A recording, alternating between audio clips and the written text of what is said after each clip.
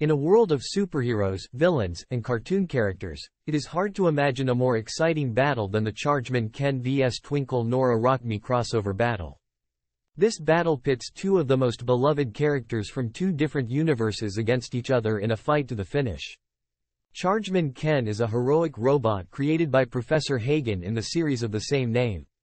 He is charged with the task of protecting the world from the evil drive. Komioji and his robotic minions. Twinkle Nora Rock Me is a magical girl from the anime series, Pretty Cure.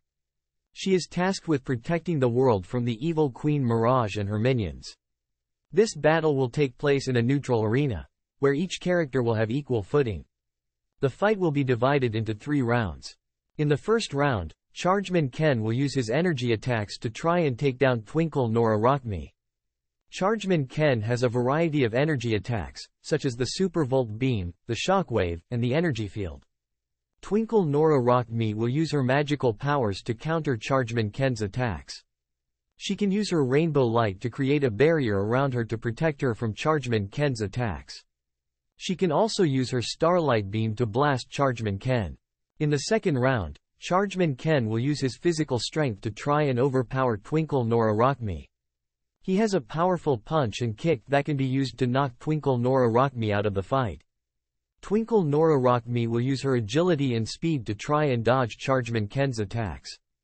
She can also use her magic to create objects that she can use to block Chargeman Ken's attacks.